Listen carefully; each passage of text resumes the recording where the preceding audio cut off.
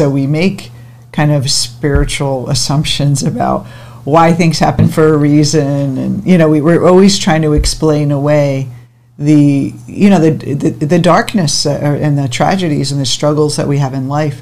There's always this this, this element in us trying to explain. Well, why does this happen? And so the God image is serves as well. There's this deity that's going to make everything better or resolve the injustice of the world that we we look to. Yeah, so uh, if, if we look at Western mythology, and to some extent the, the religious uh, kind of myths that have been central to the West, uh, the, the idea that we are created in God's image goes along with this idea, right? The, the God imago, meaning humans are an expression of that God image. And in the mythology, right, it's that um, God created us in His image, like uh, the son. You're the children daughter. of God. right? Children of God in the garden and all that. Uh, so, what does that mean um, psychologically? That, right, that would be the the Jungian approach. What does that mean psychologically? So, the myth is essentially giving us a truth in in allegory, in metaphor, in story form. What does that mean practically for us? And here, uh, I think the the Eastern uh, they have a more sophisticated way of understanding consciousness and the mind, and it helps us decipher the myth. So let's say the mythology is saying, okay, you're created in the image of God. I'm sure it doesn't mean that God looks like us, right? Physically, Yeah. that He has a body. Or, of course, uh, that would be a, a very literal interpretation. Yeah, but like there's an old man and with the beard. I remember in church, raised Catholic, the, there was an image of God even in uh, the Sistine Chapel. That's right. The a guy with old guy with the beard touching Adam, and there's God and man and yes. the child, children of of, of God.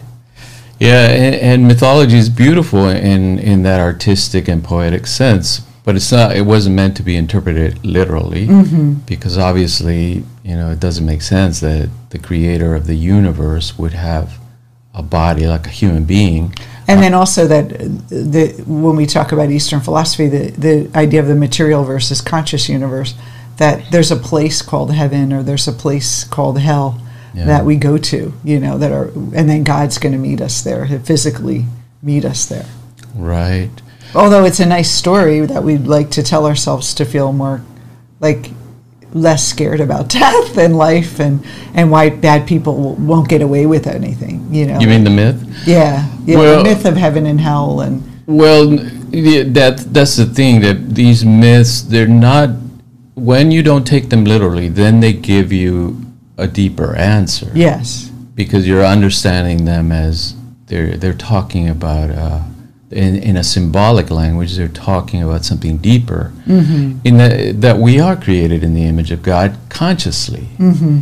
That at the core of our human psyche is this pure awareness, this consciousness that is identical to the creative mind mm. Of the universe. That's what it means. And it's encoded right there in that mythology.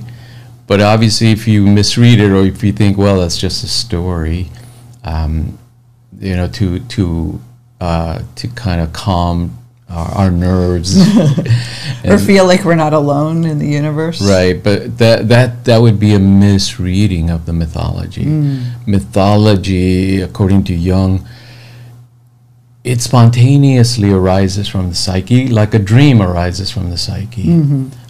And so these myths arose from the human psyche uh, in a way to explain the higher mysteries of who we are. That's but right. then it's just like a dream if we take it literally and we don't look at it from its mythological um, messaging and symbology, then we miss out.